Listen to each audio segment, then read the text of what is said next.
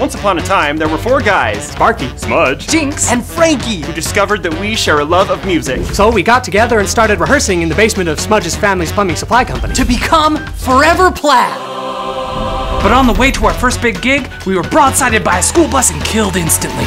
So we are technically dead, but we have our voices. And bodies. And our dinner jackets! And although we never got to do the show while we were alive, The stars have conspired with the expanding holes in the ozone layer, so now we get to do the show. So now, for the first time on this or any other planet, Forever Plaid. We're Forever Plaid! And we're dead.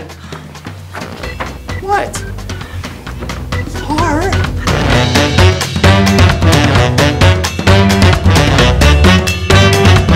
For public safety, seating is limited. And don't forget your mask.